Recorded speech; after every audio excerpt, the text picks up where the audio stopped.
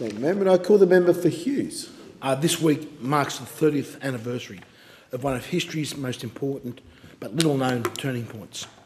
On the 16th of September 1989, Boris Yeltsin, a newly elected member of the Soviet Parliament and Supreme Soviet, was visiting Houston as part of a US and Russia joint space mission, his first trip to the USA. After Yeltsin made a visit to the space facilities and on his way back to his hotel in the airport, he made an unplanned stop at a small grocery store called Randall's. Yeltsin had been brought up under the Soviet ideology that the best way to provide goods and services to the public was through government central planning.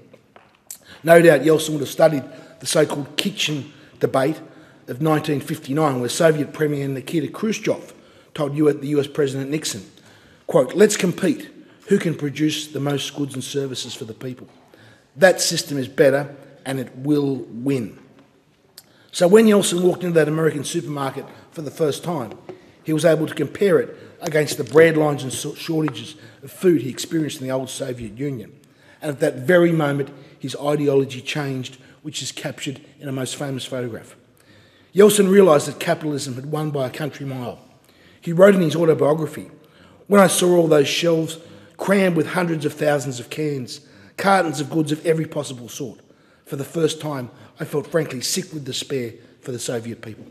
That such a potentially super rich country as ours has been brought to such a state of poverty, it is terrible to think.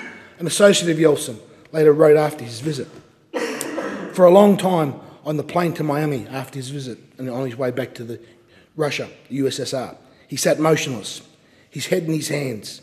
He said, What have they done to our poor people? Yeltsin later wrote in his autobiography I think we have committed a crime against our people by making their standard of living so incomparably lower to that of the Americans. It was two years later that Yeltsin famously stood on a tank outside Russian parliament to stare down the reactionary forces that threatened to overthrow the forms that the Soviet Union was going through. No one knows how history of the world may have been different if Boris Yeltsin hadn't summoned the courage and the bravery that was installed in him upon that first visit to a US supermarket we realised that the Soviet economic system had betrayed and failed the Russian people. This is a lesson from history that should be taught in our schools so that children can understand where our prosperity comes from and enjoy it today.